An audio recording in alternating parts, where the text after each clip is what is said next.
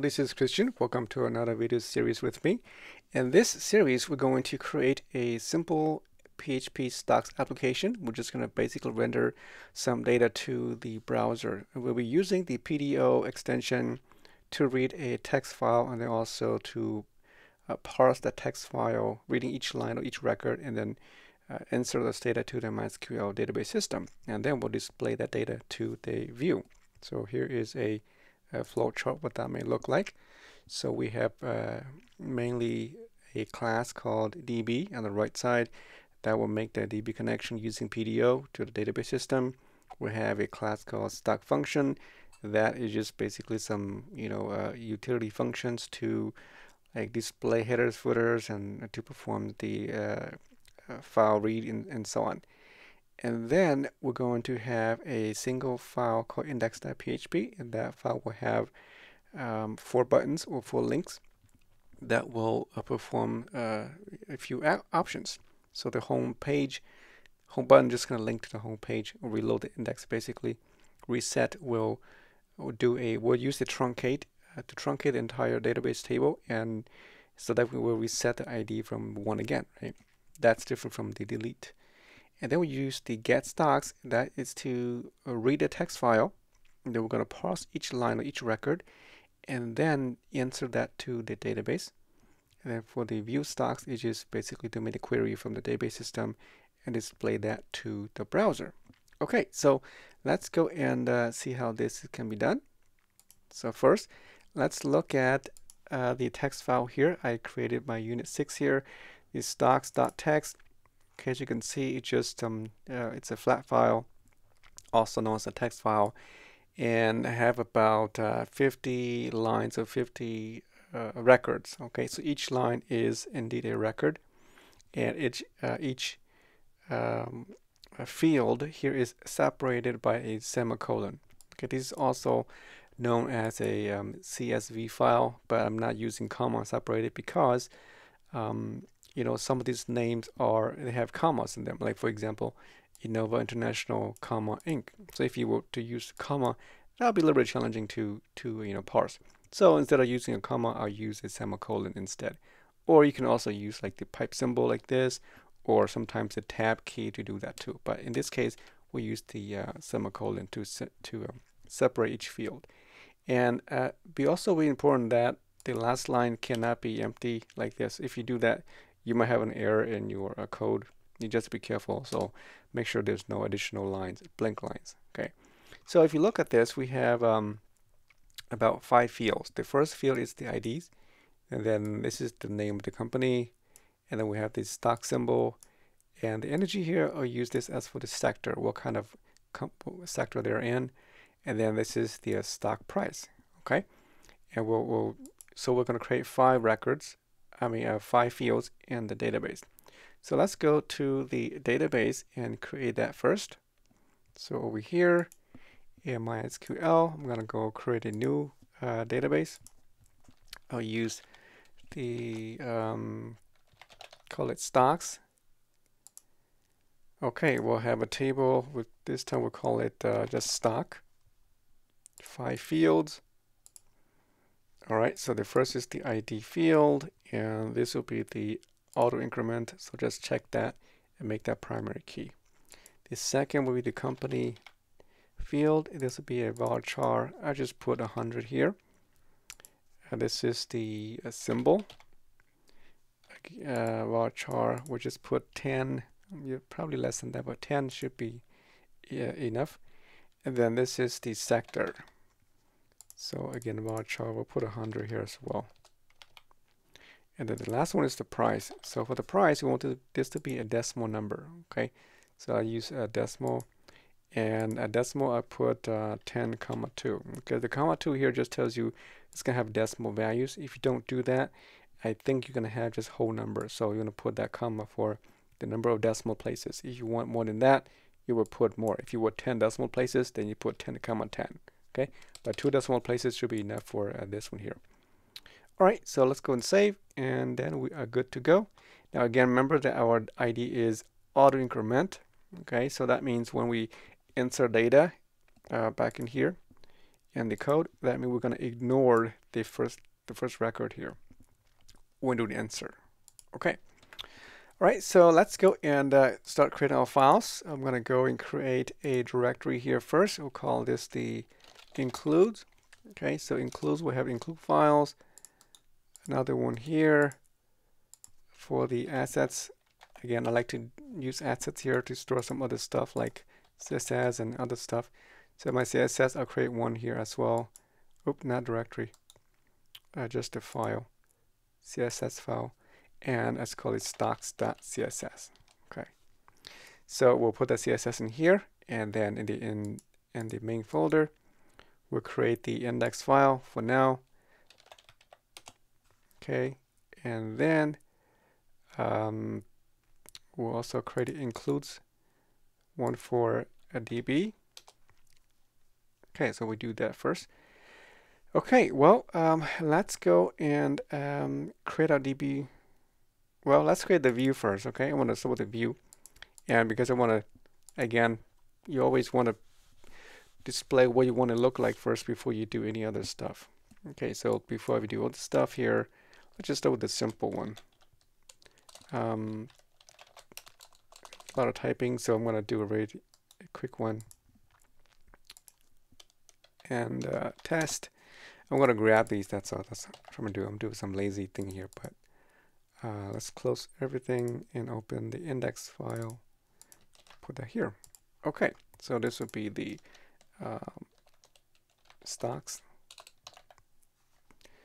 All right, so we're gonna have a um, a a div tag. This will be the class of a main container. It'll be similar to other apps we've done before. And so here, gonna have the header and I have the footer. Um, well, I'm gonna, put, I'm gonna put a header inside inside a main.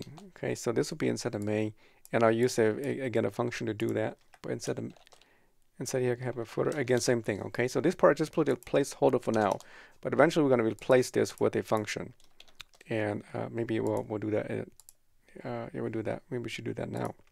So let's go over here and create another file, and this is the functions. So I put here functions and just to hold our functions uh, stuff. But uh, what do we have in header? We can do that first, and we can, you know, populate over. I have a UL, and then have LI uh, for each, right, e each link. So what does it look like? Well, uh, we can have like, um, I'm gonna call it sync files. This could be a, a href, and then inside here, I'm to do the uh, server that PHP self. You see that I do this quite, this quite often just to make sure that you know we're calling the same file every time. And this will be the home page. So let's see here. This is the home link, so has nothing attached to it. When I duplicate this, Control D a few times, this will be, I'll use this as the uh, reset to reset my table and then this is for um, get the stocks and then this is just to view the stocks okay so when I load click on the reset I'm going to load a sync file but I'm going to attach here a, a, variable just t for task I guess and we'll just call this reset. If you remember this from the vehicle assignment it will be kind of similar. Okay and then this will be t equals to um, the, maybe just call it stocks right? And then this one, T is, um, I guess we'll just call it view. So those are three options. Okay, well, four actually, but mainly those are those are it. And then a footer will be something quite similar or simple. Copy symbol if you want to do that, and then just put my name here and say I own this. Okay, whatever you want to put it. Um, I think that, yeah, that would be, that should be my footer. Okay, so let's go to the top here and add our um, CSS. So href is inside assets folder, CSS, oops, and then our stock CSS. Okay. that's our CSS, and that's pretty much all we need for this one here. I'll put here company stock, stocks. All right, so that is the index page, and then let's open the CSS file so we can go ahead and add some those common uh, rules. Body, you can copy from the other um, program if you want. But again, I just like to do it from scratch just to make sure I remember how to do this stuff. Okay, so margin zero, padding we'll put zero as well. And the font family, I always like to use the eight, like the um, Arial. Um, where is that? There's a, a default um, sans serif. Uh, sans serif. Yeah, this one here. I, I, I always like to use that one. Okay, that's for the body. And then we're going to have a, um, we have the header, right? So the header, header goes here. And then we have the uh, footer. We can do this together. And then we have, what else? The, um, you know, the main container. We have that. And then there's going to be a main tag right? And uh, yeah, those are your our main ones. We'll add more things later on. So the header will be, this time we're going to put it on the top. We'll make it also fixed so that when we scroll the top, the top will also be display visible and same thing with the footer. So I'm going to choose a um, a different color this time. I use uh, maybe like a green green color for stocks they're kind of green right so I use either dark green or uh, forest green looks good I guess use that one I also want to add a a box shadow make it have kind of like a 3d a look to it right the first is going to be the, pos the um, position this is for up and down I think no left and right okay this is the X coordinate system up make it center. I mean, right in the center. And then the next position would be the, uh, I think the up and down or the depth. And then the next one would be the spread. I think I use 15 here. And then the color will be just black. Okay, it's like a black shadow basically. And the width for this will be, uh, make sure you put 100% because you want to stretch all the way across. Uh, top would be zero. Okay, I want to stop from the top at zero. Um, and then the color for the text would be white because it's a green and white background.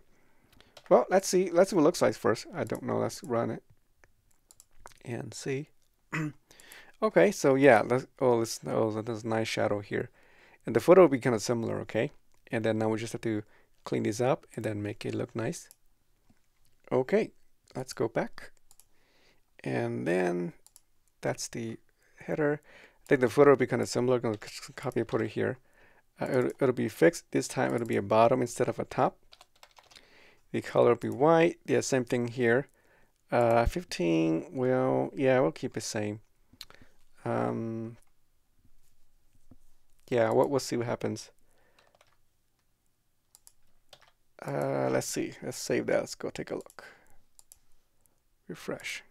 Oh, look at that. Oh, kind of small down there, but maybe I'll put some uh, padding or something. But looks good, right? So you see the shadow, it's 3D. And if you scroll it, we have more content. They should be, they should stay fixed. Okay. So let's add some more stuff here. It's kind of a small, so let's add some uh, margin.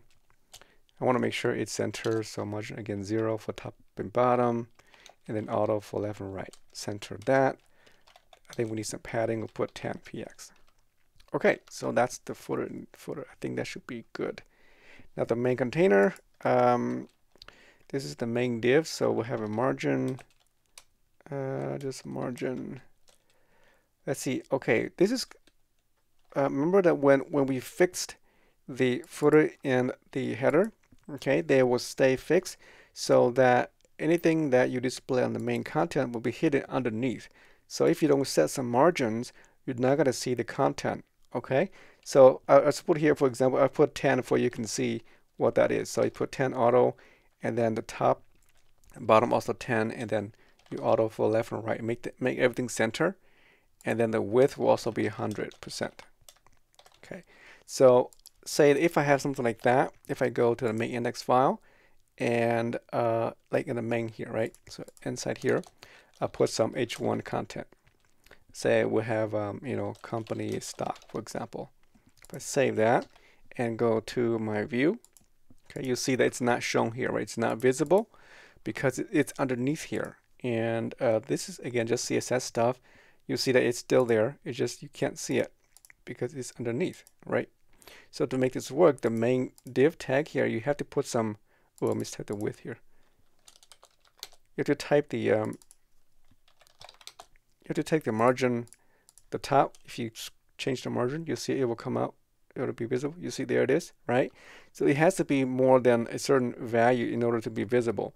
So we can make it so that it's like a hundred, um, you know, a hundred, maybe 150, I guess, just to make sure it's safe. Because when we add more stuff, it might it might do some more stuff. So like 150, and then maybe like a 20 on the bottom or something like that, just to make sure it, it's visible all the time. Okay. And um, as you can see, if I if I if I scroll, it's gonna go underneath that that um, navigation uh, header and footer. So that, that's quite nice. So we'll keep it at 150 and 20 for this one. Right, let's go back and we'll change it to 150 and then we'll put, oops, not that one, the top margin and then we'll put 20 in the bottom. Okay, we can always change it later on. Okay, so the main uh, container is this main tag here, the main content contains for that one. We're going to have a um, um, have a margin top and bottom. We'll put 10px. Uh, well, for the top, and then auto for the left, the right. The bottom again. The bottom it has to do with the footer again, right? So the footer. Remember when you designed this, the main and the footer they touch each other right here. So you need to put some padding down here as well because the footer uh, consumes some space. So the main has to have some margin, otherwise it, it will not be visible. Same thing as the above. So that means I have to put a margin on the bottom quite large, maybe like a 75 or 80 at least, or it might, might, might be more. And then auto for the left as well. And then we'll, again, padding, just put um, 10, I guess commonly 10. Okay, so let's see. That is my CSS for now. And let's go back and see. Okay, so if I refresh now, okay, looks not too bad. All right, um, I have some issue on the left side here, but all right, so let's fix the, the navigation at the top. I'm gonna turn this into buttons.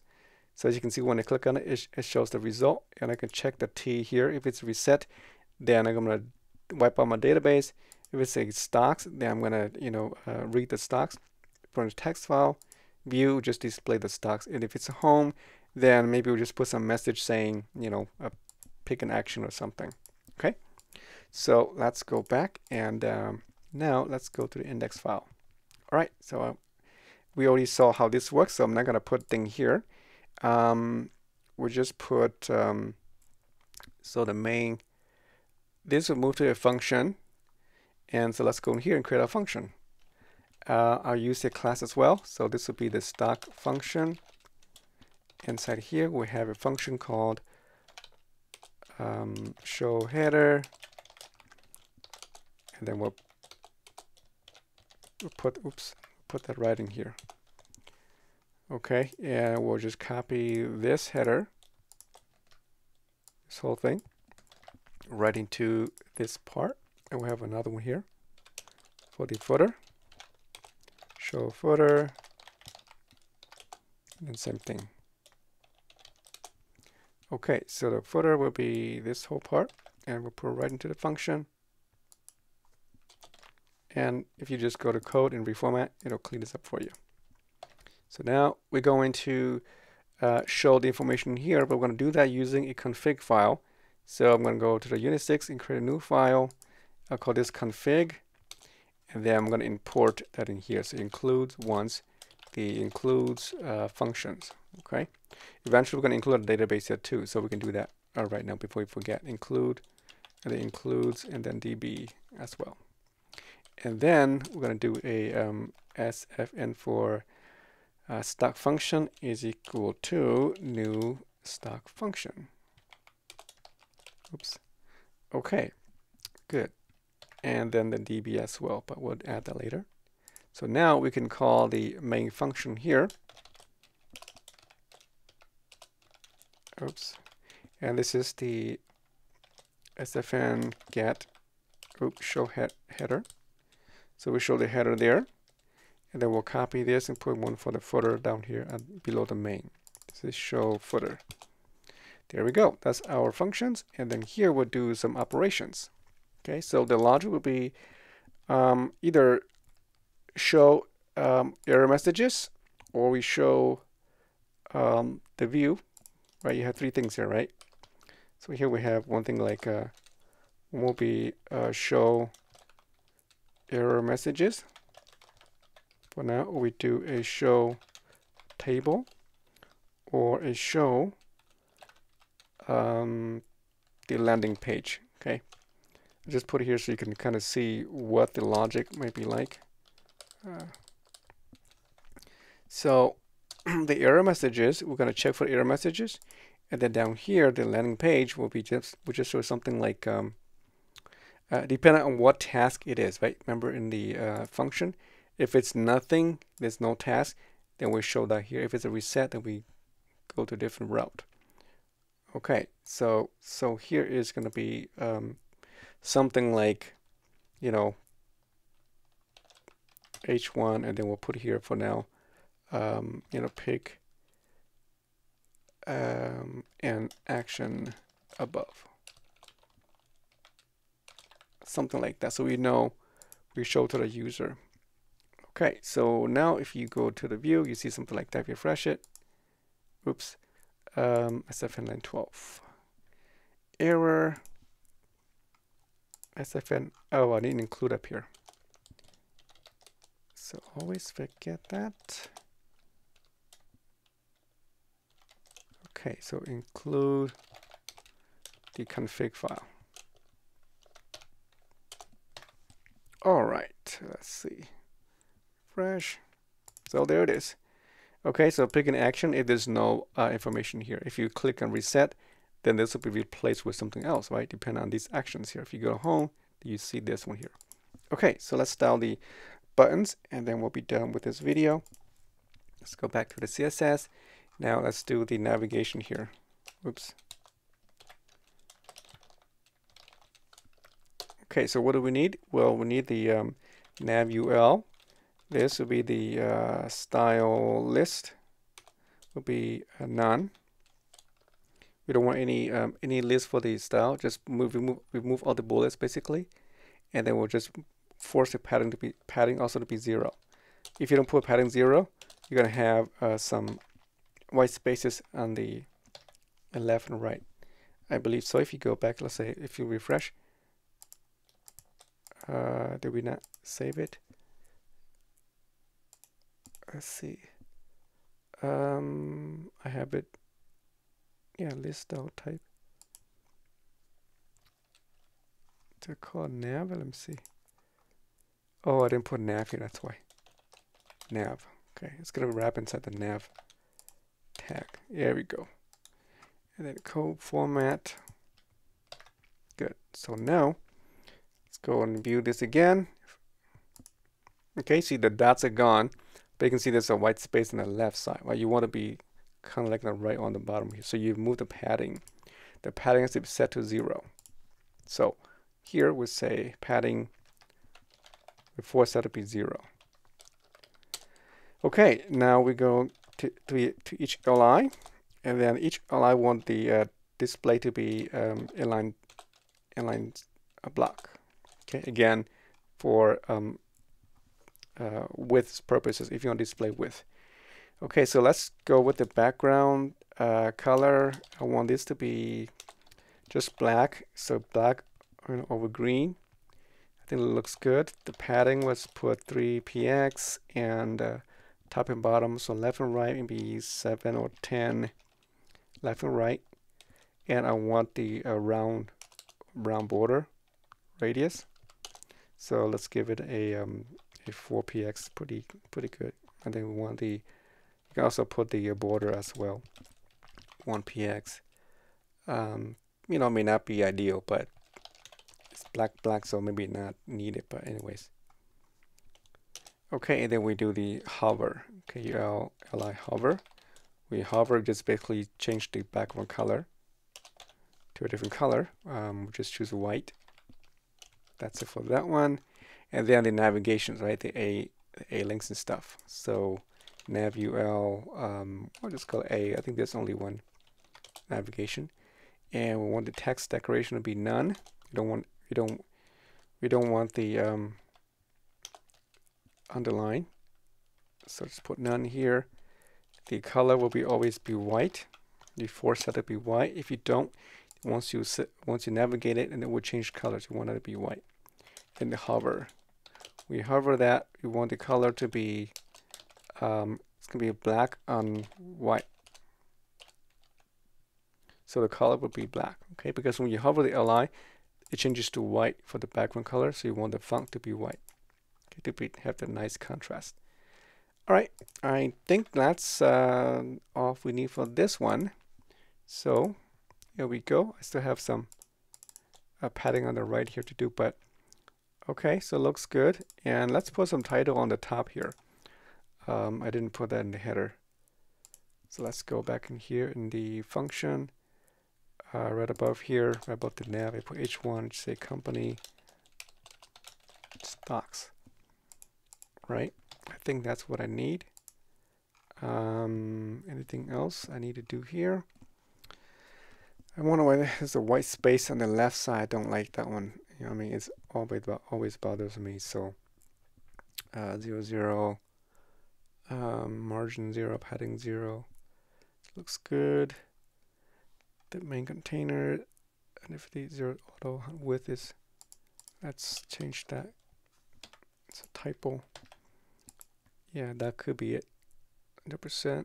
The main clear both. Clear, no. Uh, padding 0, 10. Yeah, well. Let's save in one more time. Yeah, well, I'll have to figure out why it's not. It's a padding there. But okay, so far so good. Here we go. We have this all and then set up. And then the next thing is, as you can see, when I scroll, right? you can see it, it the text would beneath the navigation, right? That's what I want. I want, I want this to remain intact and visible all the time. So that's what exactly what I want. Oh, oops.